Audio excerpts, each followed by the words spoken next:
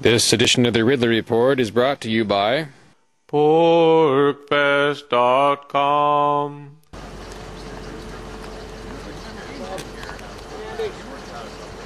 Well, I went to try and film a Rand Paul event at Gilford, New Hampshire on April 27th.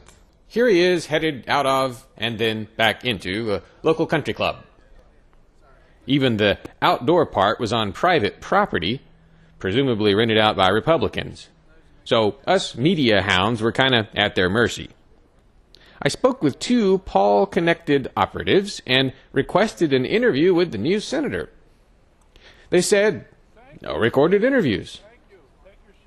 And they indicated that they were requesting that of the other reporters too. Here are the questions I would have asked him if given the chance. Senator Paul, RealClearPolitics.com quoted you this week making some apparently favorable comments about FEMA. To what extent do you support this controversial agency? See my video descript for the exact quote. I would have also asked him, Senator Paul, they say one determined senator is all it takes to put a bit of gridlock on Washington. What's keeping you from using the filibuster process to create this gridlock yourself? What, if anything, do you think would justify a one man filibuster? I realize you're not running at this time, uh, but as a perceived presidential hopeful, what's your view on the pardon process? Do you favor using it to release the hundreds of thousands who are jailed on victimless crime charges? You would have heard answers to those questions, but you won't because of the no recorded interviews request. They didn't want the speech recorded. And two operatives close to Ron Paul declined to go on camera with me.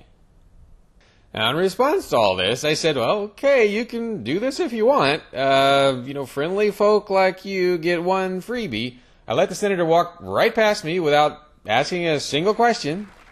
I could have broadcast the whole speech and didn't, but this kind of non openness isn't healthy for Rand Paul's cause. Doesn't really hurt me that much. I'm kind of on an over obedience kick lately, anyway. If they discourage reporters from interviewing or filming a Rand Paul speech, I'll tend to comply and make that the story. It may be a more interesting story than what he had in the speech. But I'll tend to ignore his message completely. If that's what you want, that's what you get. The next time, I hope you'll let me talk to the guy, for your own sake. And next time I bump into you guys in public, an ambush interview may be fair play. I didn't perceive much of a time crunch, and there were at least two, maybe three reporters there. He could have talked to all of us at once, for five or ten minutes.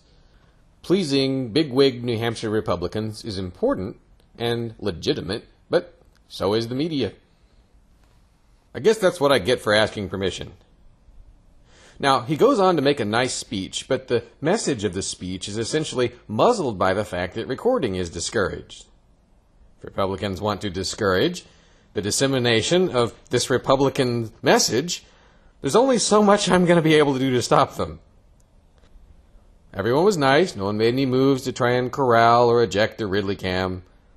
But if a former director of Homeland Security can talk to me without batting an eye, if a government school vice principal will do the same, why can't Rand Paul?